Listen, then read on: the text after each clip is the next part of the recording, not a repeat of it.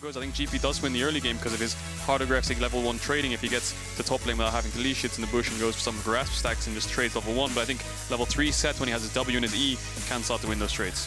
Absolutely can. And of course, uh, GP, not a lot of options for him to orange out of many of the options coming in from the side of Sett. Suppression can, of course, I believe, orange flash out, but has to be willing to burn a lot of major cooldowns really to sit comfortably against the CC and the setup that could come through here. Yeah, Fnatic's comp is a bit weird in a way where Hylissang is going to engage Nisqy and sounds a lot more even. If Bwipo can get a stun, get a good trade in, and use a W for poke, should do a lot of damage, but now Selfmade will get spotted out. Swirlseed not going to connect there.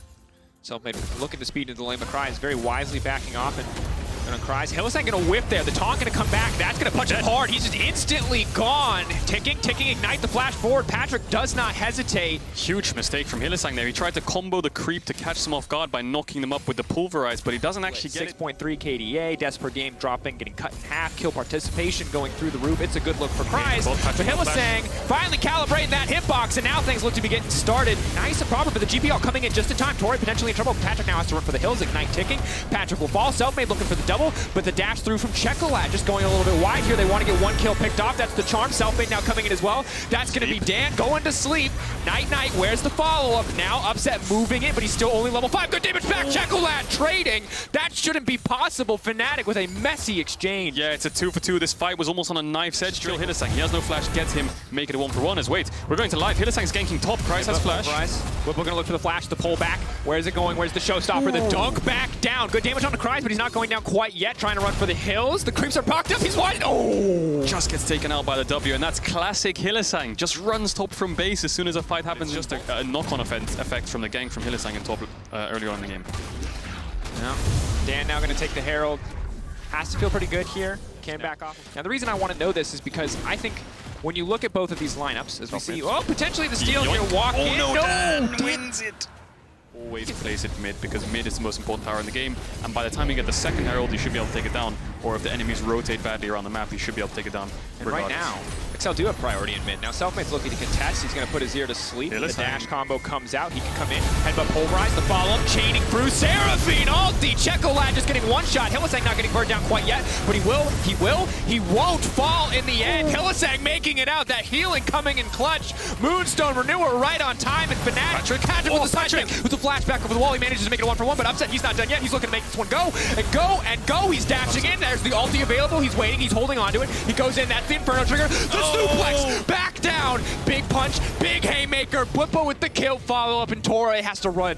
This is huge for Fnatic. They just picked up three kills on the mid wave. That's amazing play from Fnatic. You know, Hylissang goes for the engage, the follow-up CC. Nisqy, three kills on the Seraphine now. He's not a support anymore. They picked up the kills in that exchange, essentially. Bwipo has been quite quiet, but he has got two kills himself as well. And Upset's trading aggressive with Patrik here, making sure he gets the bot wave. Whoa, Bwipo's going in again. Looks down, big punch almost ready. Conqueror proc. If he hits it in the middle, he, he gets the W. damage. Kryze with the sidestep. Bwipo wants to walk back forward, the shield there, but Kryze just barely able to make it out. Yeah, but this dragon, this dragon situation is going to get interesting now because one team for both, one dragon for both teams. The dragon soul point is quite far away for either. XL to force a guaranteed 5v5. Yeah, XL definitely want Fnatic to run into them, but they have so many tools. The GP ult, the Azir hitting, and the Kai'Sa can re-engage whenever he wants. As we see, XL because they base and ran top, they're just trading towers essentially. And what they did was, even though they took two bad trades on both side lanes, I think they have a really good setup together. But Czekolad does dash away from Hylissang, who could have got combo, but Bwipo diving in and Nisqy throwing the ult. There could be a lot of wombo combo going on for them. And remember in the previous team fight that it was both Selfmade and Nisqy who really were putting that damage out, so keeping our eyes on that sustained damage. But hold that Be behind. TP now coming in. Double TP. Looking for the suplex. That's the Stridebreaker to kick things off. Bwipo just desperately trying to find Patrik, trying to isolate him. Hylissang coming in. Massive haymaker. That's true damage. Galio can't stop that. Can't prevent any of it, but Patrik flashes out to safety. Tore gets knocked down. Dan running for the hills, but Selfmade so incredibly fast. Running in, dashing a little bit more damage. Oh, there's no room for Dan to run from this one. He's just going to frolic his way through there. Selfmade taking the kill. Quick snap decision making from Fnatic. Kryze TP's back to lane. Bwipo instantly TP's bot to make a play happen. on. And although Fnatic get two kills, look how much they're losing. They just lost top tier one. They just lost mid tier one. Czekolad's almost got mid tier 2 as Hylissang looks for Patrik, but good dash away there. And I think although Fnatic did get two kills, they lost out on so many objectives. That's why the gold is even. Czekolad might get a mid tier 2 for this. It looks flashy for Fnatic. 4 to 8 in the kills obviously looks good, but they're, they're trading so much in terms of actual resources across the map. GP damage has to be respected. 3k getting lower, but GP none the wiser here. Death's Daughter, an immediate big burst of damage is going to go in, but Still very early in the game. The big monster crits aren't coming through, so Upset will be able to grab that one. Bot lane Lose the bot split push against Bwipo. Kryze is a level down on Bwipo. Bwipo's quite fed. I don't think he wins that. And their target is Czekolad. Czekolad having no flash means it's a good target for them, but they just blast off. Why are they going back into this fight? Czekolad has to dash up to safety. That's going to be two sleepy members. Dashing away, they will be able to walk Upset. off. No, Upset's not done. Spin, spin, spin. That is absolute confidence. The double kill from Upset. That's huge for Fnatic. What can they do with this? Can they get top tier one? Can they start up the Baron? That's a mid lane and support killed on the side of XL. Selfmade's looking for it, but Nisqy needs to make sure he can get there. Bwipo has a TP if they want to commit to it, but Selfmade's just dancing in the river, see what he wants to do.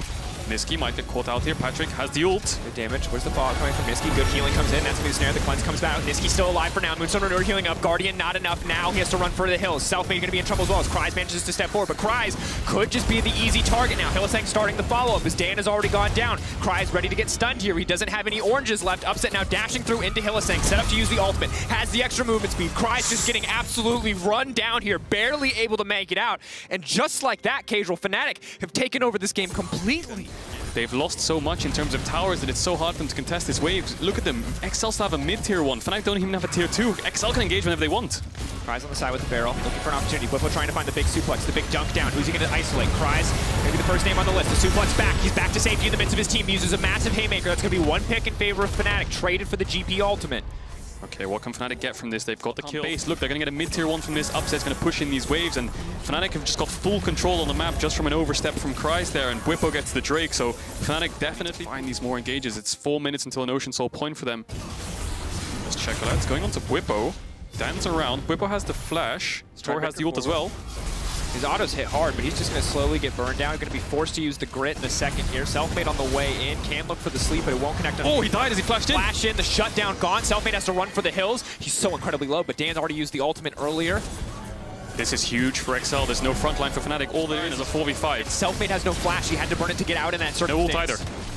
TP coming in from Kryze. It's a 5v4. Hylissang has to find the engage. 5k on this Baron. Burning, getting lower. Selfmade looking for the setup. They're looking for the opportunity. 2k dropping. Selfmade can he steal it? There's no way into this pit. It's getting lower. Excel decide to burn it, and they manage to take it. But Hylissang manages to find four. Huge charge. The follow-up. Upset spin, spin through the back line, but no one has dropped yet. It's only one member down. It's only Dan taken away. Upset does not get the reset. He does not get his glory moment. The damage is not there. Fnatic holding on. Four members strong with the Baron still alive. They have to chase this. Hylissang has to look for some kind of dive here. The TP's coming in from Bwipo, but Patrik goes to base. So Tore has the flash. If he gets taken down, it could be good for Fnatic. But Hylissang knocks him away. He doesn't have the knock up. But does Bwipo want to...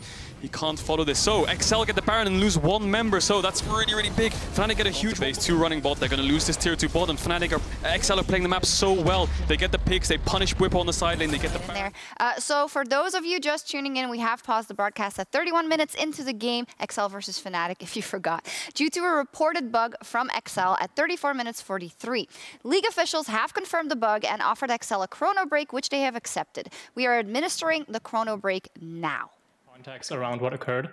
So the incident that occurred is that Samira used her ultimate, and when she was killed, um, she should have entered the, the Guardian Angel, right? Should have been revived. Unfortunately, that was not the case, and she kept channeling her ultimate um, and not being interactable from any of the Excel players. Excel then paused the game, uh, reported the bug, and the what happens in that process is that the head referee determines whether or not the implications of the bug that is occurring are significant enough to justify a chrono break, as that comes with a lot of baggage as well.